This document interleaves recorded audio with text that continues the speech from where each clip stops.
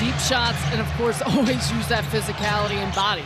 Durant, downtown hit for Kevin Durant, and the foul.